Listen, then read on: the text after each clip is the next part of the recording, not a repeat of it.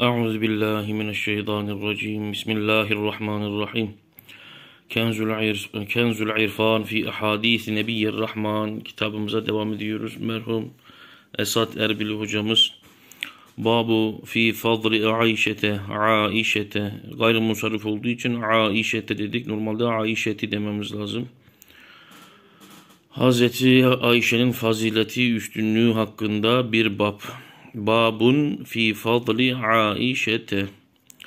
Kâlen nebiyyü sallallahu aleyhi ve sellem Peygamber Efendimiz sallallahu aleyhi ve sellem dedi ki Ahabbun nisai ileyye Ahabbun nisai kadınların en sevgilisi ileyye bana kimdir? Yani kendi hanımlarım içerisindeki en sevgilisi Aişetu Aişe'dir. Ve miner ricali erkeklerden e, bana en sevgili olan ise Ebuha ha müennes Ayşe annemize gidiyor. Onun babasıdır. Yani Hazreti Ebu Bekir. Nisvan içinde yani kadınlar içinde ziyade sevdiğim, çok sevdiğim Ayşe Ayşe'dir. Ricalden ise pederi babası olan Hazreti Sıddık'tır. Hazreti Ebu Bekir'dir. Lakabı Sıddık. Doğrulayan, tasdik eden, Miraç kandilinde, işte Miraç gecesinde Peygamber Efendimiz'i gördüklerini müşriklerle anlattıkları zaman geldiler Hazreti Ebu Bekir'e dediler ki ya Ebu Bekir e senin arkadaşın işte semaya yükseldiğini, şunları şunları gördüğünü, Kudüs'e gittiğini falan söylüyor.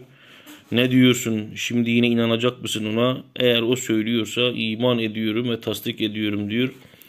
Doğrudur diyor. Ondan dolayı kendisine sıddık doğrulayan lakabı veriliyor. Ahabbun nas insanların en sevgilisi ileyye bana kimdir? Ayşetü Ayşe'dir.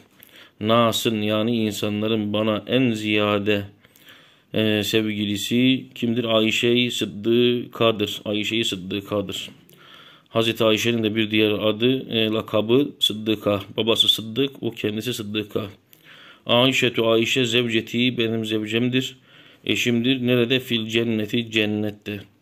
Ayşe-i Sıddıka cennette e, rafikimdir, arkadaşımdır, eşimdir.